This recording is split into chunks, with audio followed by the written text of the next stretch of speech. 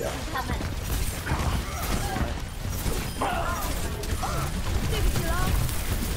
Yeah, keep, keep going on. Try and get us over